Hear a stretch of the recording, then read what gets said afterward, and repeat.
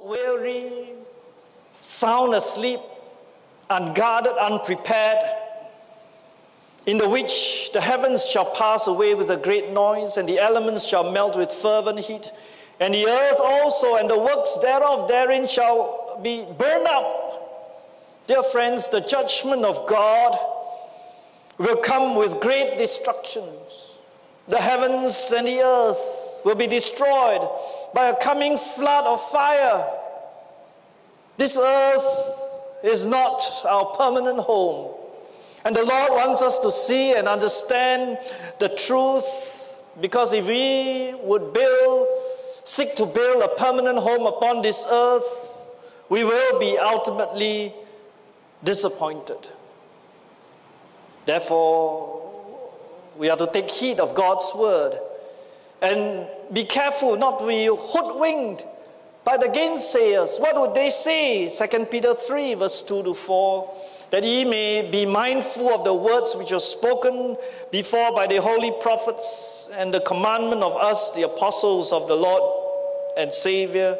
Knowing this first, there shall come in the last days scoffers, walking after their own lust, and saying, Where is the promise of his coming? For since the fathers fell asleep, all things continue as they were from the beginning of creation.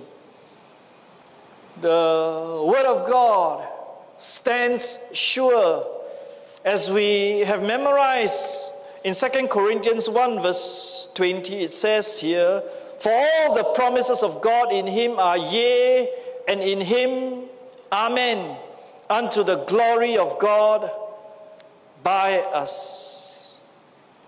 When Moses obeyed the voice of God to confront Pharaoh, Pharaoh rejected his requests to let his people go. Rather, we saw how Pharaoh increased the burden of his people, how he tormented them with greater bondage by refusing them the materials and expecting them to produce the bricks needed for his building program.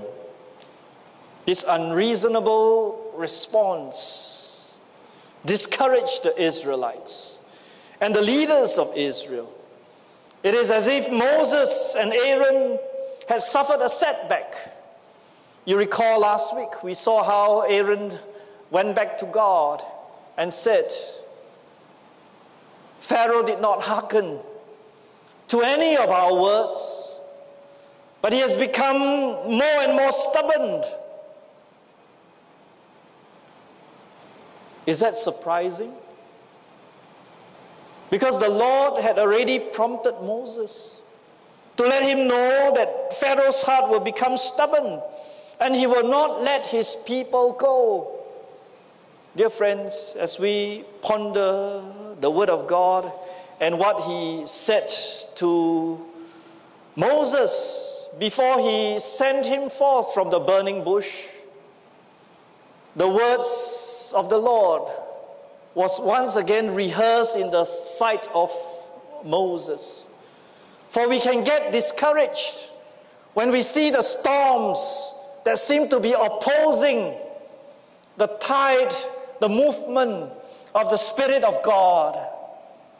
Do you get discouraged when you see the storms before you? When things seem to not go your way as we have planned? Well, you recall Moses knew already that Pharaoh will harden his heart. Dear friends, God is still on the throne. And he understood the response that the people of Israel will go through before they would finally be set free. Turn with me to Exodus chapter 4 and verse 21 to 23. Exodus chapter 4. And it said here, And the Lord said unto Moses, when thou goest to return into Egypt, see that thou do all those wonders before Pharaoh which I have put in thy hand, but I will harden his heart, that he shall not let the people go. And thou shalt say unto Pharaoh, Thus saith the Lord, Israel is my son, even my firstborn. And I say unto thee, Let my son go, that I may that he may serve me. And if thou refuse to let him go, behold, I will slay thy son, even thy firstborn. Dear friends, when our Lord Jesus Christ tells us that the day of judgment is coming, in his coming, he will not come as a lamb, but as a lion from the tribe of Judah. He will come as a judge. And he doesn't mince his word. While we live in the time of grace, it behooves us to repent of our sins before the time comes when it is too late. God will be very merciful to Pharaoh.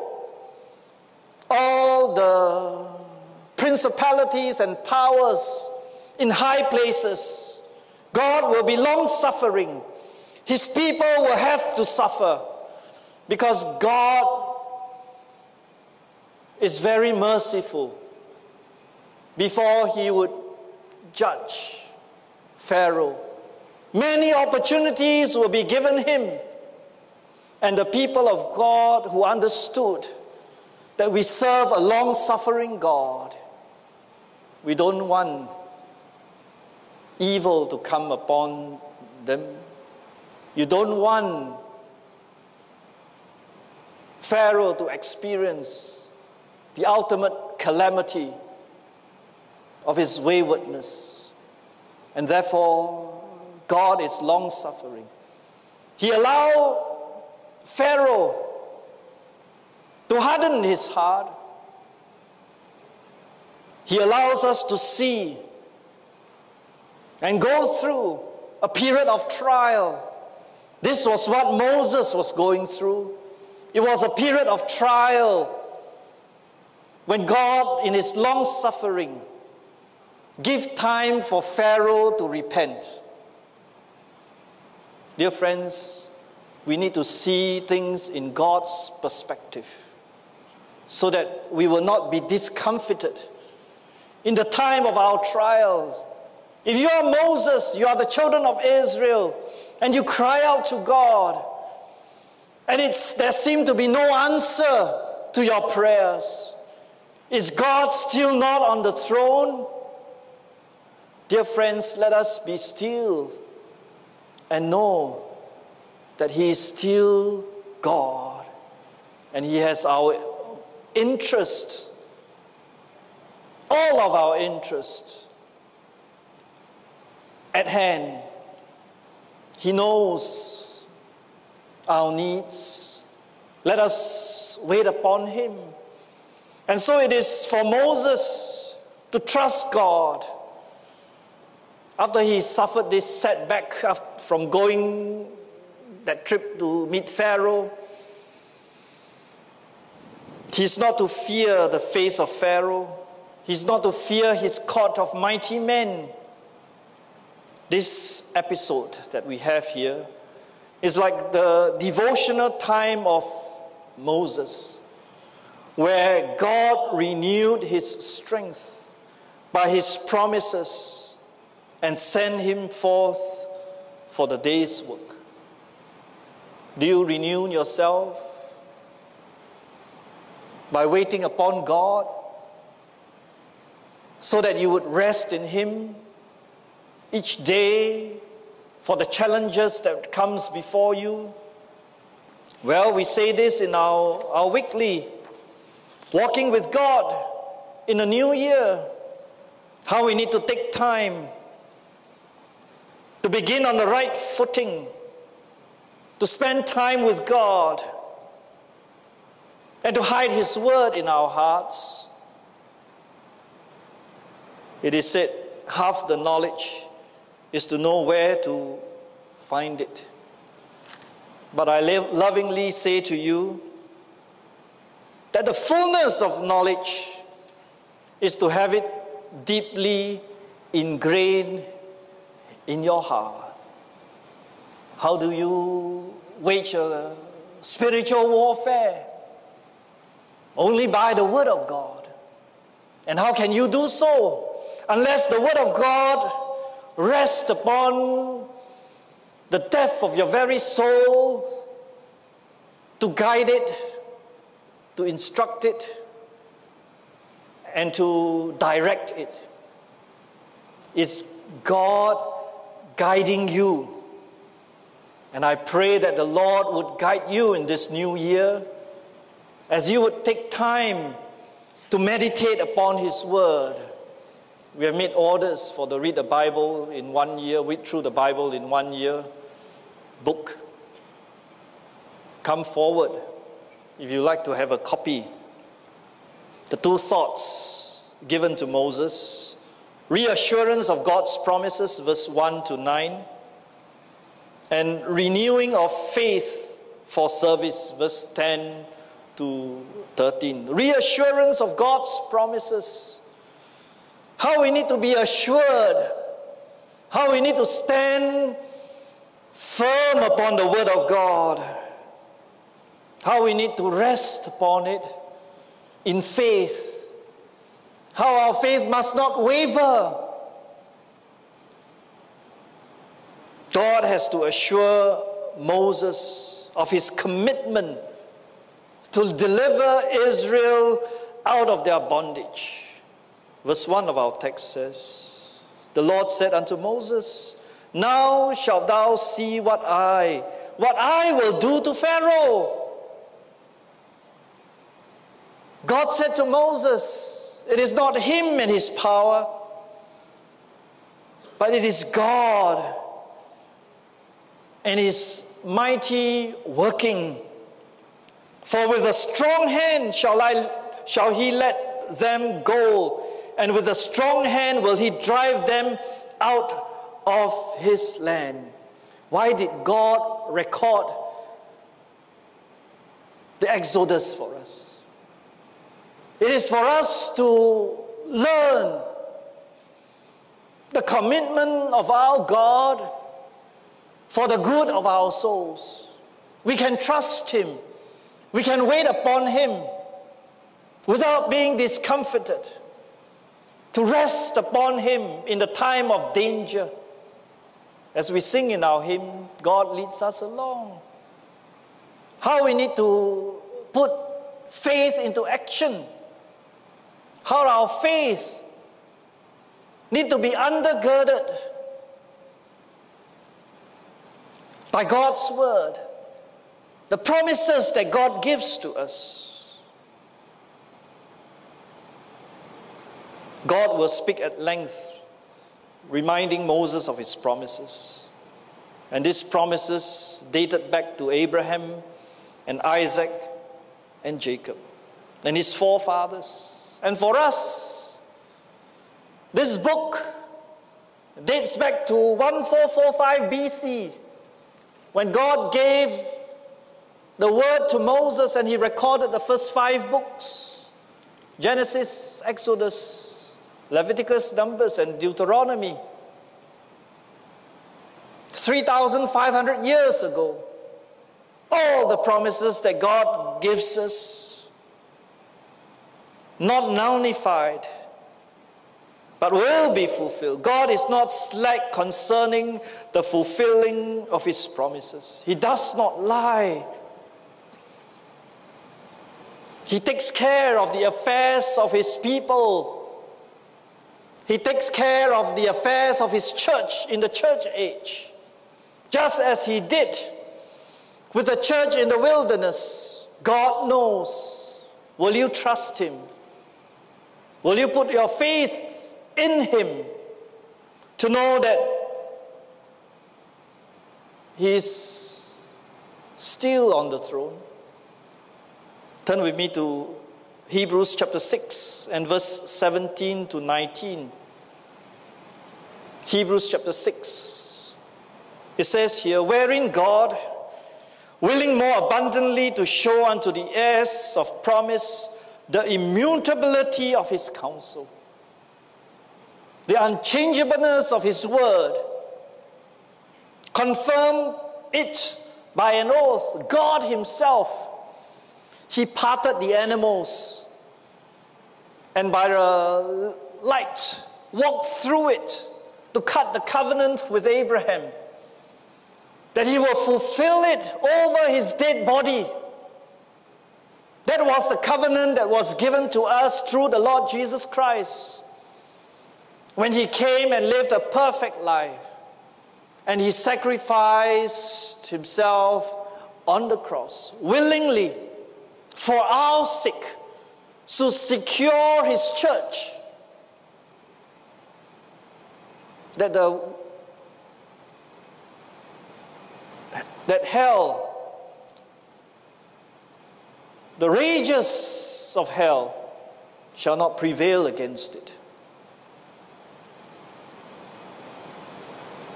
showing unto us the heirs of promise, the immutability of his counsel, confirmed it by an oath, that by two immutable things, what are these? His promises, he said to them 400 years later, uh, earlier, that he would give to the descendants of Abraham the land, the promised land. And now they are slaves in Egypt. God is going to deliver them out of Egypt. There is a plan that God has when, he's comes, when they come out of Egypt, God will give them at Mount Sinai the law, the constitution of the nation. And then God will bring them into the promised land. And they will become a full fledged nation. This was the plan of God that they will be a witness amongst all the nations of the world to the living and true God just as his church today is a witness. And God has commissioned us with a great commission to go into all nations and preach the gospel. Are you frightened? Because of what you see that seem to be so powerful ways of the enemies to thwart God's work? Well, let us see with the eyes of faith. Jesus says, All power is given unto me in heaven and in hell, in heaven and in earth, and I will give it unto you. And Jesus says, I will go with you. I will go with thee until the end of the world. The enemy will not prevail against you. Trust him that by two immutable things in which it was impossible for God to lie, that we might have a strong consolation. A strong consolation. That you be not discouraged that you be not discomfited. Because you are the people of God. And He takes care of you. Who have fled for refuge to lay hold upon the hope set before us. We have fled to Him, Jesus Christ, to be our refuge. Will we be discouraged? because of what we hear, because of what we see. Well, Moses was discouraged. The leaders of Israel were discouraged. The people of Israel were discouraged. But the word of God will be fulfilled. Israel will come out of the land of Egypt and they will become a nation as God has promised them. The gates of hell shall not prevail against you. Which hope we have as an anchor of the soul, both sure and steadfast, and which entered into that within the veil. When Jesus died upon the cross, he said, It is finished.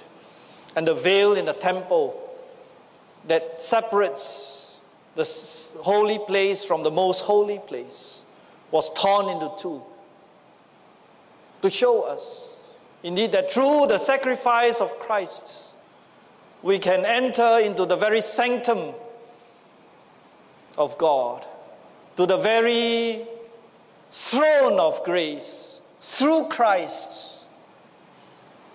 That was the picture of the sacrificial, the Levitical sacrificial system that God has inaugurated, that God will inaugurate through the nation of Israel when they were in the wilderness. His promises will be fulfilled to the jot and tittle. Jesus says, For verily I say unto you, till heaven and earth pass away, one jot or one tittle shall in no wise pass from the law till all be fulfilled. Matthew 5, verse 8.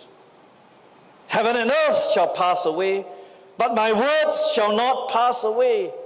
Matthew 24, 35, Mark 13, 31, and Luke's Gospel 21, verse 33. Heaven and earth shall not shall pass away, but my words shall not pass away. On the metal of Christ's coming again, Jesus warns his disciples to be vigilant and to be alert all the time. He says to them in Luke's gospel, and take heed to yourselves, lest at any time your hearts be overcharged with surfeiting and drunkenness and cares of this life, so that they come upon you unawares. That they come upon you unawares. Because you were drunken. Because you were so overwhelmed by the cares of this world. Watch ye therefore and pray always that ye may be accounted worthy to escape all these things that shall come to pass and to stand before the Son of Man. Dear friends, it is easy to be absorbed with the cares of this life and to be absorbed in the reveling and indulging in the pleasures of this life and forget our spiritual mandate before God to be pilgrims and witnesses on this earth of the coming judgment. Dear friends, do you know why the Lord has named this church the Blessed Hope Bible Presbyterian Church? Because we are a church that proclaims the coming of the Lord Jesus Christ, our blessed hope. The Bible tells us the trumpet shall sound. The dead in Christ shall rise first. And we which are alive shall be caught up with the Lord in the air. So shall we ever be with the Lord. Dear friends, are you ready? We are in the days leading to the coming of the Lord Jesus Christ. And the Lord is not slack concerning his promises, as men would count slackness the Lord assured Moses that Israel will be delivered by his strong hand out of Egypt.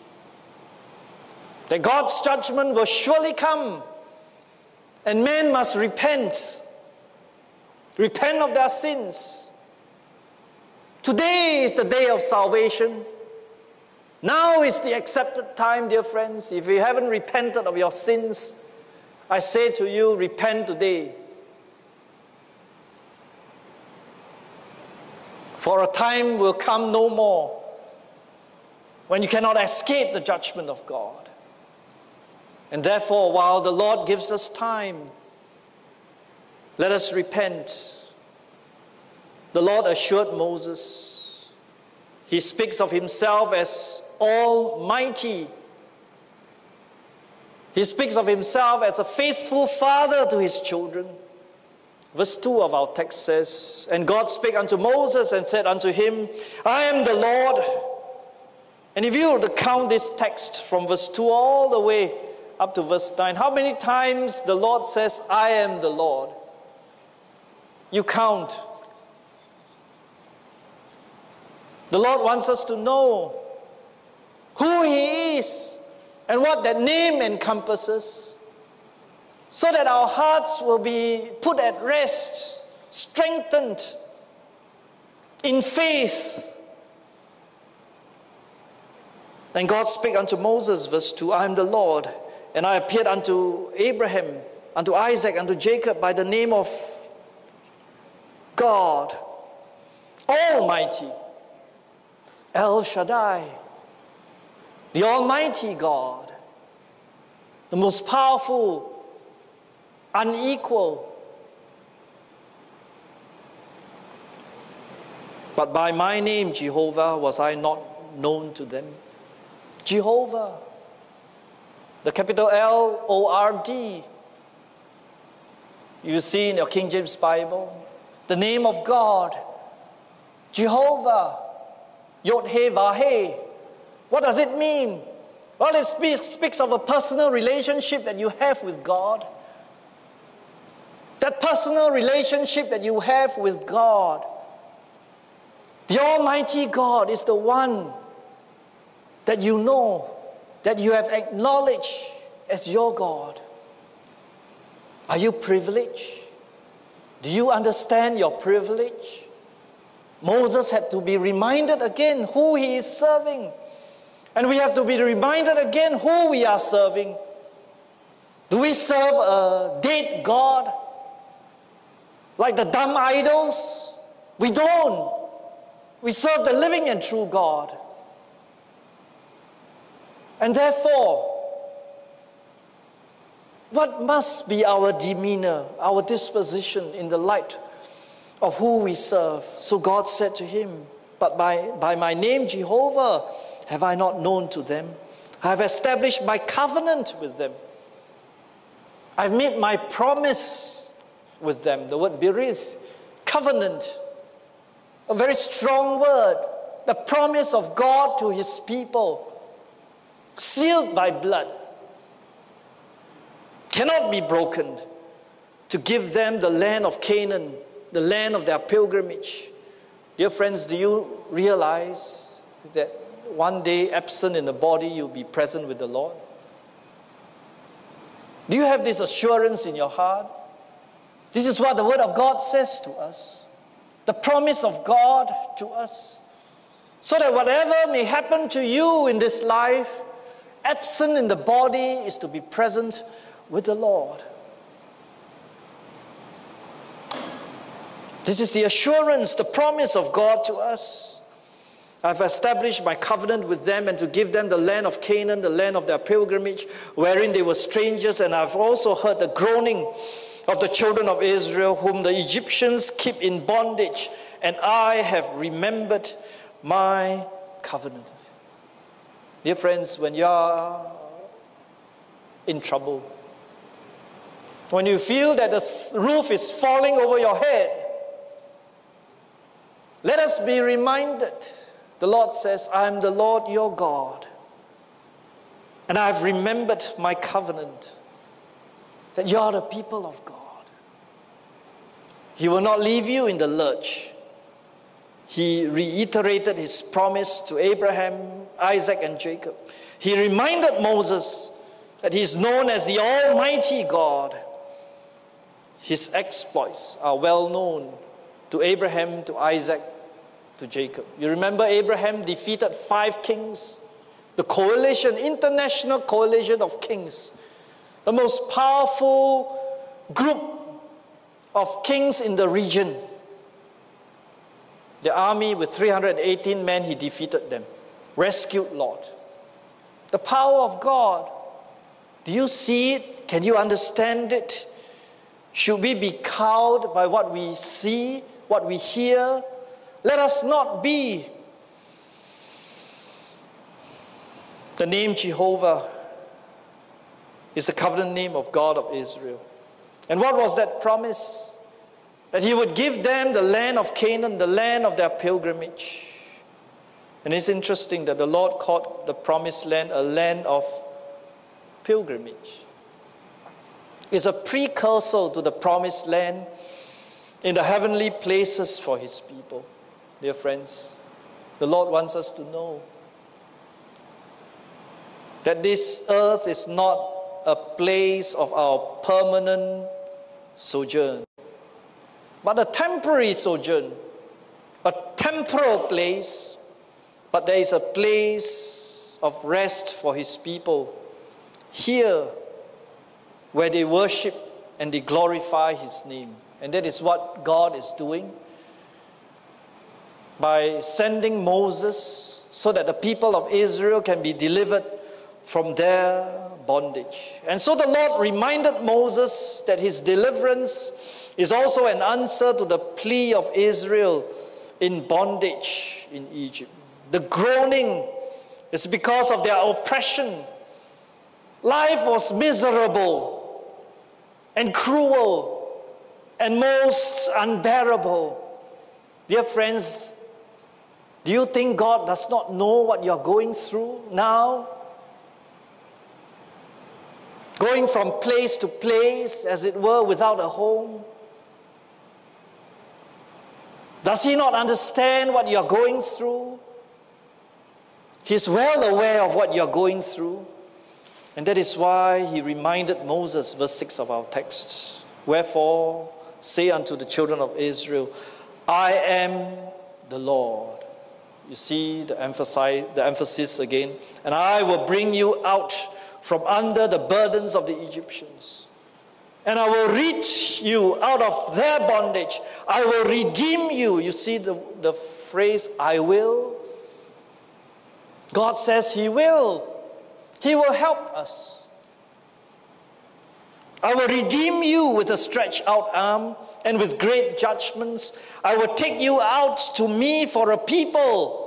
I will be to you a God, and ye shall know that I am the Lord your God,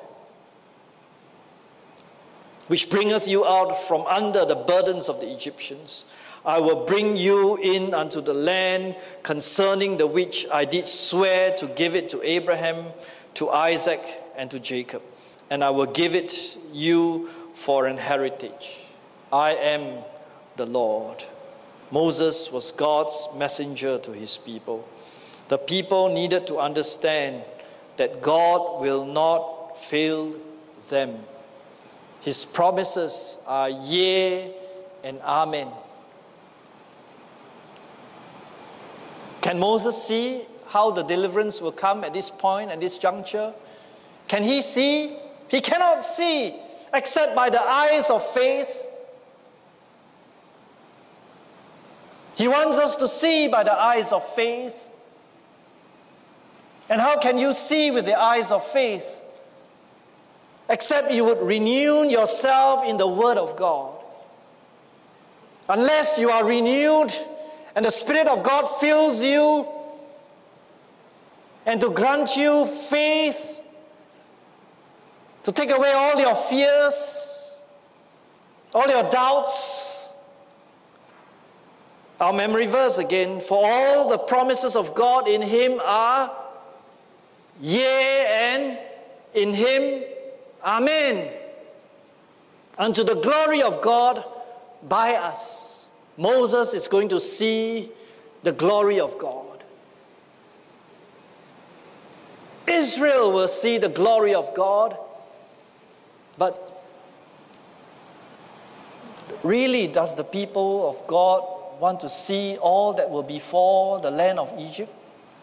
All the judgments that will come upon them? God will rain 10 plagues, and the 10th plague will be most terrible. It will hit the firstborn of all men and cattle. He said, wow, how does God know the firstborn of men? and even the firstborn of cattle will fall dead. At that hour,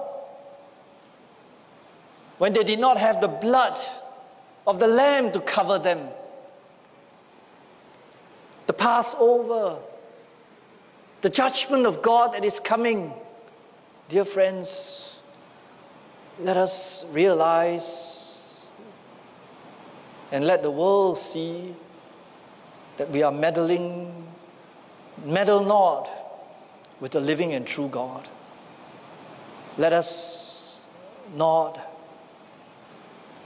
crumble under cruel bondage. Let us not crumble under persecution. Whatever oppression that may come upon you, the phrase, I am the Lord, repeated twice, and the phrase, I will, repeated seven times, providing Moses the information to settle his mind as to what God is doing and will do for them. Will your mind be settled? Dear friends, will you rest in the Lord? That's the trouble with us, isn't it? When we rest in the Lord, our soul will not be tossed to and fro. But when danger comes, we know that we can flee to Him, our refuge. We have that assurance. Moses needed to be assured of God's promises in his heart. He's to carry them to Israel. And notice the response of Israel in verse 9. And Moses spake unto so unto the children of Israel, but they hearkened not unto Moses for anguish of spirit and for cruel bondage. Indeed, it is true. When we are suffering, when we are grieved in the heart, anguish in spirit, oftentimes our soul is so downtrodden, disappointed, discouraged, that we cannot see God. And so the response, they hearken not unto Moses. How can it be? Of course, if you see with the eyes of Pharaoh of the world, his might, his machine, the military machine, the people of God need to exercise faith in God during the time of their affliction. Dear friends, it is a test of your faith. And I pray that you would exercise faith. Exercise faith to trust in God. So that all the doubts will just fizzle away.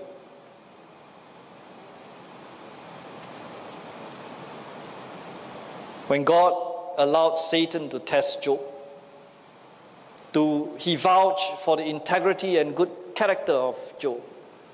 He said that Job was a perfect and upright man, one who feared God and eschewed evil. The Lord said to Satan in Job 1, verse 8, Hast thou considered my servant Job, that there is none like him in the earth, a perfect and upright man, one that feareth God and hates evil and escheweth evil? We are established in our faith during our trials when we choose to follow and trust Him amidst pain and anguish. Amidst pain and anguish. Turn with me to 1 Peter chapter 1 and verse 6. 6 to 9. 1 Peter chapter 1. What do you do during the time of your trial? Peter says, Wherein ye greatly rejoice, though now for a season, if need be, Ye are in heaviness through manifold temptations, that the trial of your faith, being much more precious than of gold that perishes, though it be tried with fire, might be found unto praise and honor and glory at the appearing of Jesus Christ, whom having not seen ye love, in whom though ye now see him not, yet believing. Moses has not seen how the Red Sea will part, how the blood of the Lamb will distinguish them from the people in Israel. And yet he is told to exercise faith, whom having not seen ye loved, whom though ye see him not, yet believing. Ye rejoice with joy unspeakable and full of glory.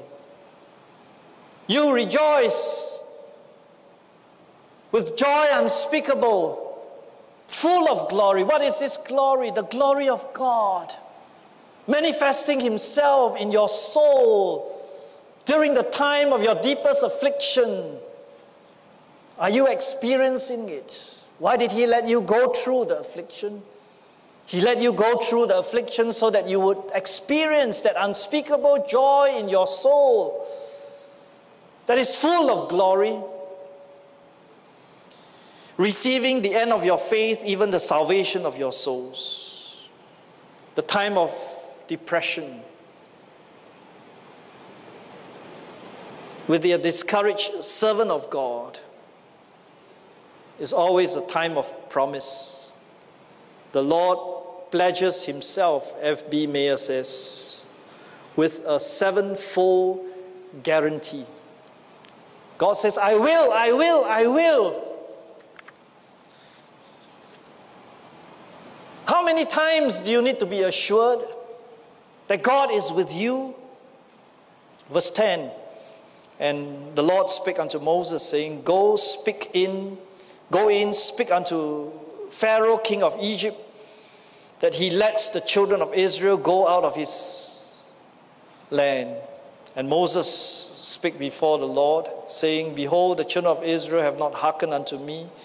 How then shall Pharaoh hear me, who am of uncircumcised lips? And the Lord said unto Moses and unto Aaron, and gave them a charge unto the children of Israel and unto Pharaoh, king of Egypt to bring the children of Israel out of the land of Egypt. God commanded Moses to return to Pharaoh and not be intimidated by his refusal. Dear friends, are you intimidated? Are you frightened? The Lord says to us, Let us not be. Moses feels himself most inadequate to fulfill the task. And indeed, it is so. By ourselves, by our own strength, we will fail. But the Lord once again reassure him again and again that he is with him. It is the same for Joshua after Moses died, as we conclude. God has to assure him his presence and also to receive the repeated encouragement that God would give him be strong and of a good courage. The Lord said to him in the chapter 1 of Joshua, There shall not any man be able to stand before thee all the days of thy life, as I was with Moses, so I will be with thee. I will not fail thee nor forsake thee. Be strong and of a good courage. For unto this people shalt thou divide for an inheritance the land, which I swear unto their fathers to give them. Only be thou strong and very courageous, that thou mayest observe to do according to all the law. This book of the law shall not depart out of thy mouth but thou shalt meditate therein day and night, that thou mayest observe to do according to all that is therein. For then thou shalt make thy way prosperous, and then thou shalt have good success. Have not I commanded thee? Be strong and of a good courage. Be not afraid, neither be thou dismayed. For the Lord is with thee, whithersoever thou goest. Reassurance of God's promises verse 1 to 9. Renewing of faith for service, verse 10 to 13. May God grant his people strength to keep serving him, for the conflict might be great, but the battle is of the Lord. He will see you through, and we will have the victory as we obey His voice to do His will. May the Lord help us. Let us pray. Father, we thank Thee for Thy holy word. Strengthen Thy people. Lord, we are dealing with principalities and powers in high places. O God, I pray that thou would be gracious to help thy people to be strong in the Lord in the power of thy might. O God, strengthen thy people that we may not be taken in by the wiles of the devil, frightened. Father, may thou work the work of faith to undergird the hearts of thy people. For thy own mercy's sake, for thy own name's sake, help thy people. This I ask and pray with thanksgiving through Jesus Christ our Lord. Amen.